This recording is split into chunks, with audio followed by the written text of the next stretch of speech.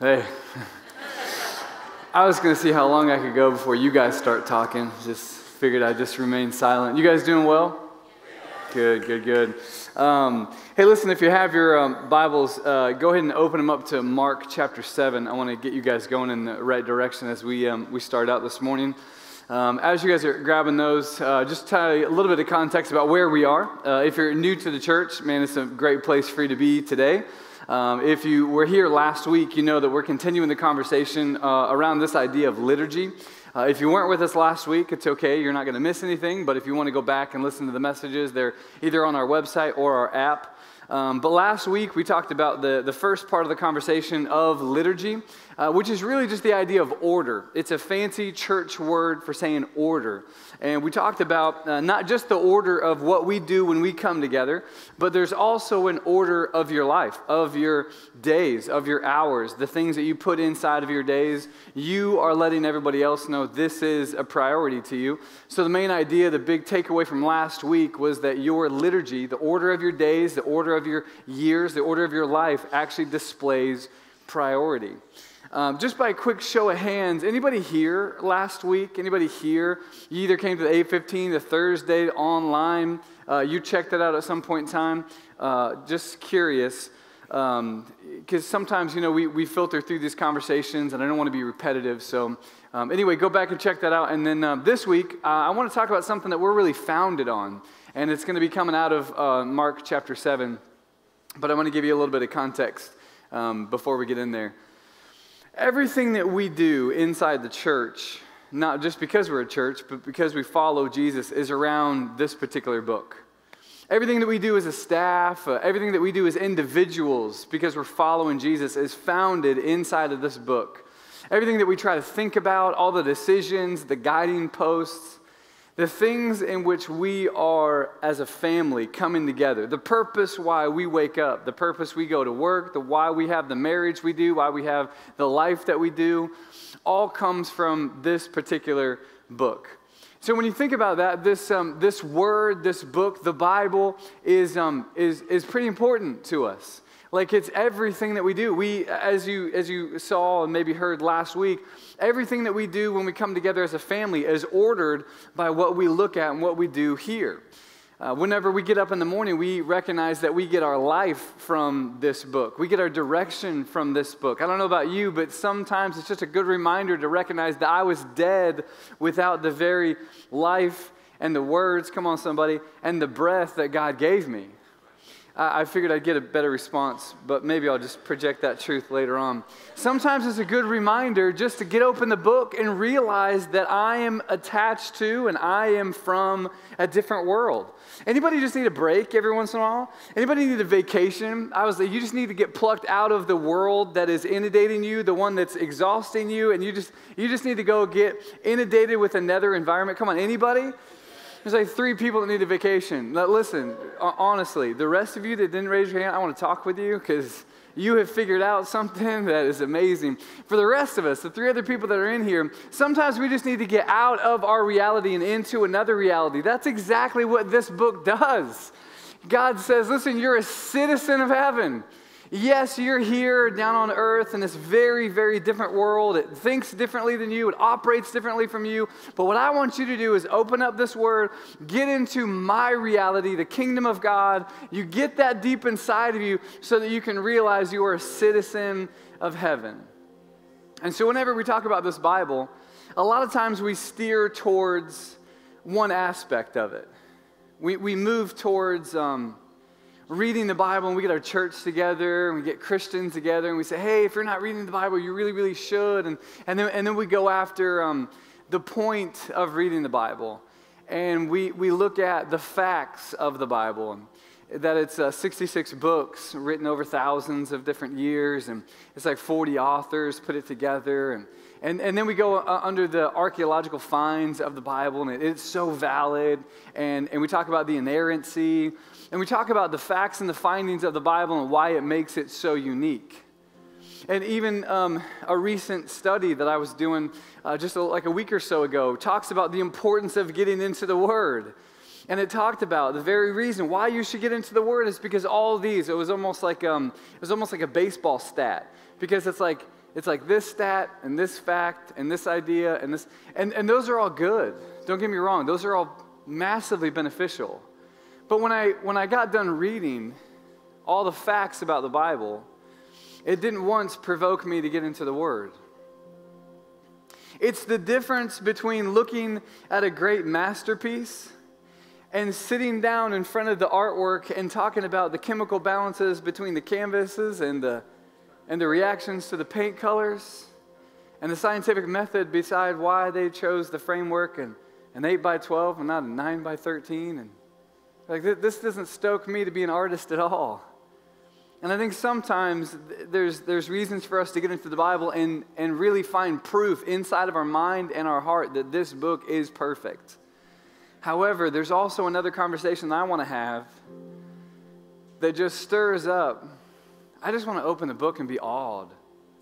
I want to open up the book and be massively in love with the author behind it. I want to be stirred to move into a point of desperation I want, I want to open this book like I'm hungry for life because that's what God's promised. I don't, I don't, I don't want to go in there thinking that I'm going to understand most of what's in there, but I want to open it up, reading it so that this truth can read me and I can be set free. So I want, I want to talk about a story inside of the Bible that, that did just that for me. It's in Mark chapter 7. I want to talk about something that maybe a lot of scripture and a lot of the stories may not talk about a whole lot, uh, which is hunger and desperation. Have you ever been to a point in your life that you've just been hungry? Like you have not been satisfied with the status quo? Have you ever gotten to the point of absolute desperation where you just knew that you needed hope, that you needed to survive, that, that you needed something that you were just not handed over? I believe that desperation and hunger is the key to opening up the Bible and getting anything out of it. And I don't know where you are, but a lot of times I find myself sick because sometimes I just don't hunger the way I should. And, and the answer is not try harder. The answer is not go to church more. The answer is not, well, if you just love Jesus more, you'd get into the word. That's not true. Listen, there is a war over your soul. And this book, not because of the black and white ink printed on page, but because the author behind it brings these words alive and active. There is a battle over you getting in this because there's a battle over you connecting with Jesus of the book. Mark chapter 7, maybe an obscure story of where we're going today, but it really struck me months ago and I wanted to share it. Verse 24. I don't know if I told you that.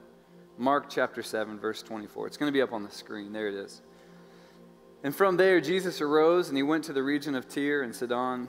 He entered into a house and he didn't want anyone to know, yet he could not be hidden.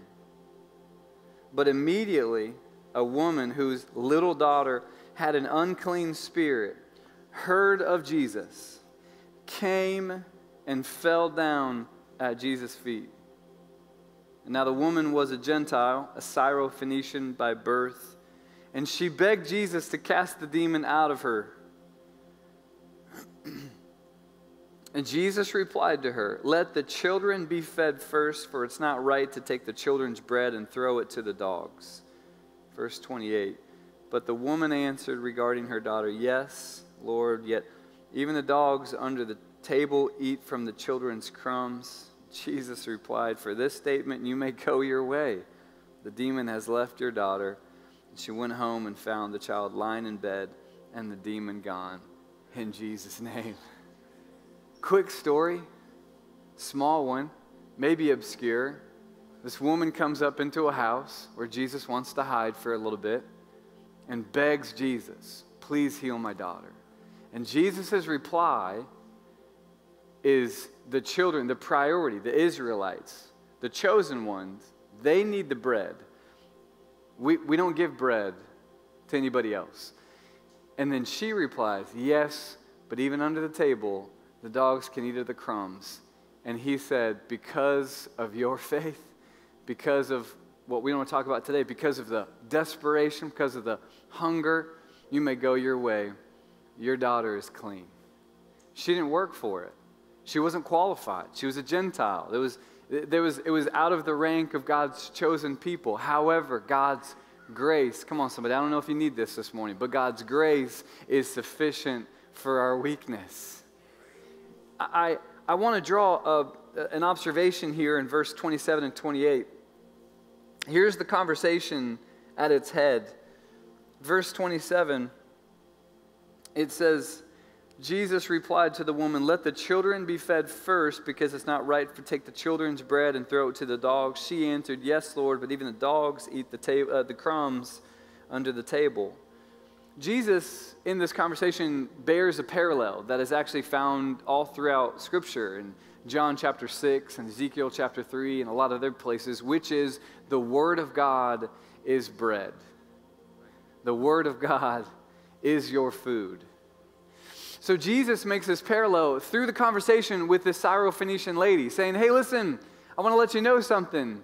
That what you're asking for is food for your soul. What you're asking for are the very promises of God.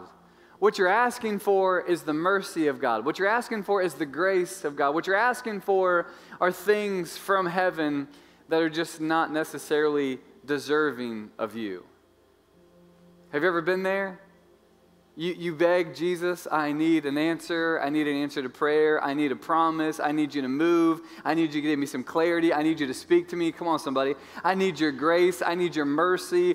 Anything, God. I'm going to search. I'm going to beg. I'm going to pray. I'm going to ask. I'm going to go to church. I'm going to read the word. I'm going to ask other people. I need you to show up. Desperate things start to happen when you get hungry and when you think nothing else in this world satisfied, but I need to get into something that actually has substance to it. So she comes to Jesus and said, Please heal my daughter. It's a legitimate request. I've seen healing from you before. And he says something pronounced. He says, The bread that you're looking for, the promises of God, the very truth to unlock your soul, those are reserved for the chosen people. And, he, and she says something that I believe is, that is right along with our identity today. The crumbs fall underneath the table. What if I just eat those? Jesus is like, even my crumbs will do. Even my crumbs will do. Have you ever had a really, like, really good meal? It's really, really good meal. And had leftovers? And, and sometimes be more I don't know if you've been, you've been this before, but I think it's an adult thing. You've been more excited about the leftovers. Come on, somebody. Now, as a kid, leftovers were disgusting to me. You know what I'm saying? You're like, there's no way we're going to take yesterday's food, put it in the refrigerator, bring it out, warm it up, and serve it to me? I, maybe this is just my arrogance, probably, but as a kid, I was thinking, that's disgusting and wrong. You know what I mean? But as an adult, I'm thinking, oh man, it's amazing. We've had so many people come and give us uh, meals now that we're like soup deprived and we have three kids. We're running around this, this world pretty chaotic. For the past few weeks, we've had people give us meals. They've been amazing, they've been so good. But what I'm more excited about is waking up the next day and be like, we get that meal again. We have leftovers again. Jesus says, The very things that are pure, which are my word, that come straight from heaven, you can eat on for the rest of your life. But here's the benefit while you're here on earth, you're only going to get leftovers. Come on, you catching this? While you're here on earth, I, I can't explain it, but it's just, it's the fact that we live in a broken world. The fact that sin is here.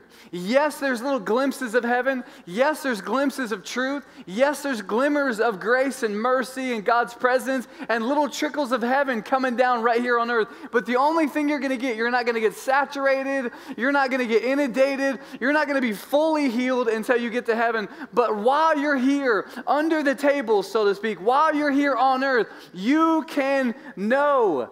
You can pick up crumbs.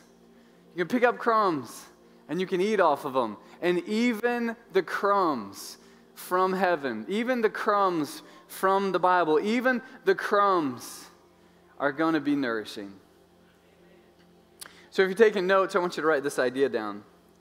This woman and, hopefully our life are satisfied by crumbs. Satisfied by crumbs. You ever thought about that before? You walk away from a meal. I am satisfied by grazing all day. I'm satisfied by snacking. I'm satisfied by just merely eating crumbs. But when the crumbs are as high a quality that heaven is, you can realize, yes, my soul will be filled with some very crumbs of God. Let me just tell you what crumbs are. Crumbs are every word inside of this book is inspired and given to us by God. They're breathed out. Amen. But every once in a while you read through this and not everything is being being breathed on. You know what I mean? They're, they just remain words on, on paper. They just remain historical accounts. They remain stories and psalms. But every once in a while you'll read through the inspired word of God and something will pop out that you've never read before. Come on, anybody happen to this? You're thinking, oh man, wait, wait, wait, who put that in there? I've never read that before. Well, that's crazy. I never thought about that, but that's that's your crumb. That's your crumb. Pick it up. Journal about it.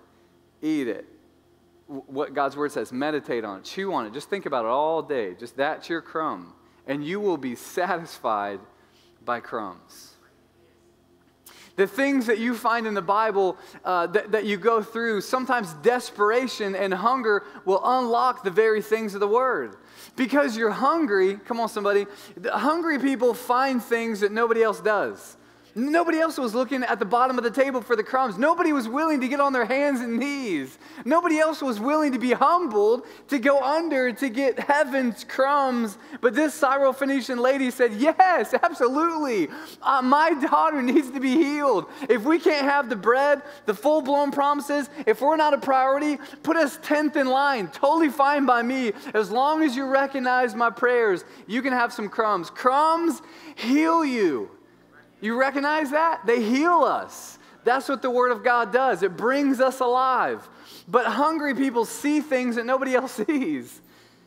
You know, you, you read through the Bible, maybe with a friend or somebody else, and you gather together and you think, I've never seen that before. Why, why, did, why did you get that and I, and I saw something else? Because hunger sees things that nobody else sees. Hunger gathers things that nobody else gathers, and others just miss them because desperate, this Syrophoenician lady was desperate and she needed something from God, and she found it. And she was satisfied. You know, there's this truth that, that resides poignantly in, in 2 Corinthians chapter 12. And Paul talks about it being a, a thorn in his flesh. And he asks Jesus about it, and he says this My grace is sufficient for your weakness. And then, if you take that particular truth, it's actually found all throughout the Bible because there's, there's this idea that I want you to get. If you're writing notes, I want you to write this down. You access grace through truth. Jesus came in the fullness of grace and truth. Amen? John chapter 1. He came in the fullness of grace and truth. But, but listen to this you access God's grace. You, you know what grace is? His promises, his presence, His goodness, everything that God has to offer, He gives it to us by His grace. Salvation is by grace alone. You with me? Faith, it's by grace alone. You, do you know that you have gifts? Even the gifts that you have are by God's, come on, somebody, God's grace. So listen to this. You access the grace, all the things that Jesus has to offer. You access grace through truth through truth.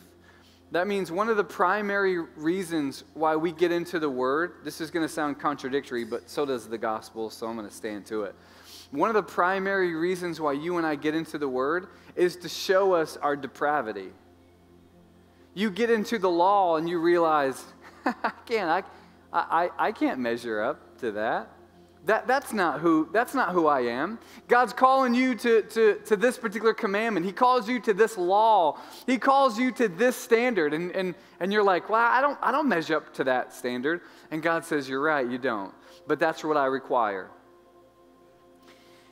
And the moment that the word, the law, shows you your depravity, shows you the gap in between you and Jesus, right after that, it declares that there's a rescuer, it declares that there's a gap filler. It declares that there's one that is perfect. Come on, somebody. It says, you know, you're never going to measure up, but I want you to honor one another. I want you to love one another. I want you to be perfect. I want you to, I want you to do this. And, and the more and more you read the Bible, you're thinking, I can't live up to that. It says don't murder, but even murder means hate. Don't commit adultery, but even adultery means lust. Why? I haven't done any of those. God says you're right, but you can't access my presence, my promises, come on, somebody, my grace until you admit. You, are you catching this? Until you admit that's true about you. The Bible actually shows you who you are. It shows you your depravity, so it shows you the access of grace. It shows you the depth of God's presence through the fact that you don't measure up, but there's a good God, a perfect one that was sent just for you, that died upon the cross, that spoke your words, that lived your life so that you can be set free. And that's the truth that will set you free. Sometimes we get into this and we just want the, the feel good parts. Oh, I just want to be motivated. I want to be encouraged. You want to be encouraged? Read this word and acknowledge that you were dead without Jesus. But because of Jesus, you were made alive in Christ and dead to sin. Isn't that what the word says? Like, this is the great paradox of the word. Get into this. You're thinking, gosh, this is very depressing. I'm, I'm not measured up at all. There's this Syrophoenician woman that just approached Jesus. And he's like, hey, my daughter is sick. Can you, can you heal? And then, I, I don't know, maybe I'm reading a different word, but Jesus says, it's not right to take the children's bread and throw it to the dogs. You just called me a dog. Jesus, the most compassionate, loving individual, like he has more compassion and love in his left toe pinky than I do in my entire life. That God just said to a woman, no, no, no, that is reserved for these other people because I can't give it to dogs. When I read that, I was sort of offended. So I put myself in the story and I'm thinking, if I'm this woman coming up and asking Jesus for bread, for grace, for healing, Jesus just straight up says, It's not for you. But this woman wasn't offended let, let me say it another way. She wasn't entitled, she wasn't prideful, which is a lot of times how I come to the word. She was humble. And remember, James says that God opposes the proud, come on, somebody, but gives grace to the humble. God opposes the proud, but gives grace. That's what this woman received grace. Because she came not prideful and entitled. She came knowing, yeah, that's, that is exactly who I am. I, it wasn't my choice, but I'm not a chosen Israelite. And for the record, I'm not either. The Syrophoenician knew that she was a Gentile. I'm not in your chosen mix. Yeah, I, I get it. I'm not offended by you calling me a dog. But I also know who I am. And I'm going to declare the truth to you. I'm going to search the Word and let the Word search me because that is the truth. And the truth of who I really am, which I'm dead I have nothing to offer. I'm poor. Last time I checked, the poor in spirit are the blessed ones. Come on, somebody catching this? That's what Jesus says. The poor in spirit. You are blessed when you're poor in spirit. The Syrophoenician woman knew that. I'm, I'm, I'm blessed. I know I'm not an Israelite, I'm a Gentile. However, I am poor in spirit. I am desperate and hungry and I'm accessing something here. It's not by my works, it's not by my me being chosen. I'm not, I'm not the race that you have favor on. However, I will take your crumbs. Jesus says, You can have my crumbs all day, but you're going to need to gather them. You're going to need to pick them up. You're going to need to humble yourself. You're going to need to position yourself to be in a place to find the crumbs. The crumbs are not on the table, but don't worry, one day you'll be at the table. One day you'll be in heaven and there'll be a feast before you. It'll be in the presence of your enemies, and you'll look across eating this amazing meal, and you've been like, this is so great. But then you'll look across on somebody and be like, I don't know how you got in here. and then they're going to look across and be like, I don't know how you made it either. And you're going to say, and that's grace. Thank you, God that I didn't deserve to be here, but somehow I picked up your crumbs in your word because I was desperate, because I was hungry, and I was satisfied by your word. When you walk through this stuff, it's amazing to, to, to see the Syrophoenician woman pick up crumbs and be okay with it. You know, Proverbs 27 says that even the bitter things in your life are sweet if you're hungry. even, the, even the bitter things in your life can be satisfying. We made, um, we made cookies the other day, and, and it calls for um, vanilla extract. Have you ever tasted vanilla extract by itself? It's not exactly delicious, you know? but when you put it in, when you put it in a mix of, of cookies and you add a little bit of sugar in there and, and some flour and some, some oatmeal and some chocolate chips, yo, you bring it out of the oven, you say, that's really, really good. Isn't that what God does to your life? He brings the bitter things. Come on, somebody. He brings the broken things. He brings the thing of ashes and he turns them into beauty. He puts you in the fire, he purifies it. He cooks you a little bit and says, I know this is going to get hot. This is only for a season. Don't worry, because when you walk through the valley of the shadow of death, you're not going to stay. I'm going to walk you through that place. But when you come out, oh, it's going to be amazing. But the hungry will pick up the crumbs through the path, through the valley, and realize I have so much to feed on here. I have so much to feed on. Because there's crumbs all throughout the Word of God. Have you ever, you ever acknowledged that? You ever seen that? I remember not too long ago, a, a friend of mine said, Yo, I found something the other day in the midst of reading, wait for it. I, I found something the other day in the midst of reading genealogy. It, it, you know what I'm saying? Come on. Now, I know this baffles you because, like, when was the last time you were reading through the Bible and, and it came to, like, Matthew chapter 1 and it says, this dude bore to this guy, this guy had, gave birth to this person. There was, like, 16 in their tribe. And then it goes on, they were born to this guy, 14 generations later, this guy. And you're like, chapter 2. you know what I'm saying?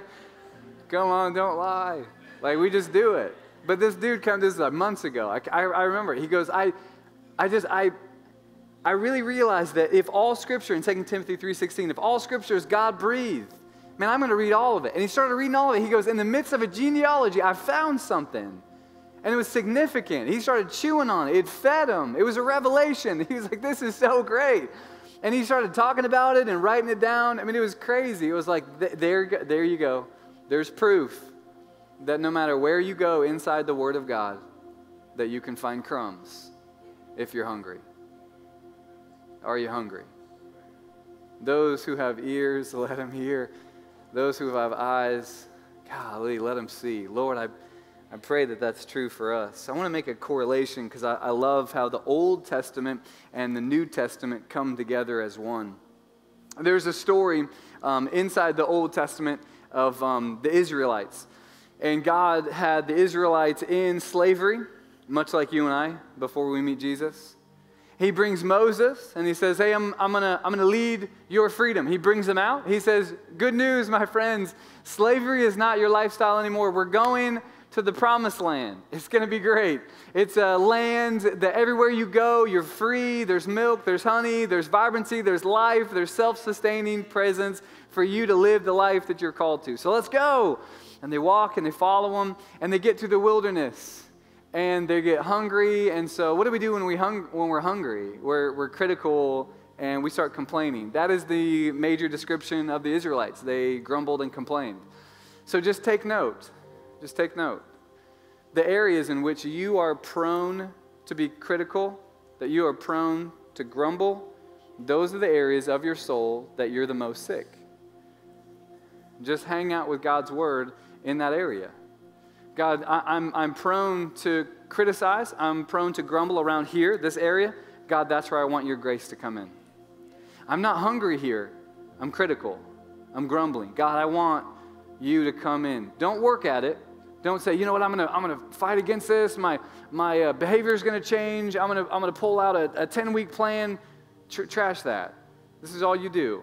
Notice the moment that it happens, golly, I'm critical. Man, I'm grumbling. Man, I'm complaining. Boom, right there. Jesus, your grace is sufficient because this area is weakness. I ask that you would come in, break up the root, plant a new seed of truth, Tell me the truth and allow your grace to grow and multiply. Amen? So here's the Israelites. They're grumbling and complaining. So Jesus comes to them and says, I'm going to feed you. And, and you probably know the story. He said, I'm going to give you manna. Manna. Manna. Every single day, manna. But have you ever really looked at the description of what it, what it looks like whenever he says, I'm going to give you manna? Exodus 16, check it out. 16, verse 14. he says, um, This manna that I'm going to give you is a fine, flake like thing fine as frost on the ground. Did you catch that? It's a fine, frost like, flake like, like a, like a thing, like a, you know what I'm saying? The Hebrew word for manna is what is it? Does that make sense? Are you catching this?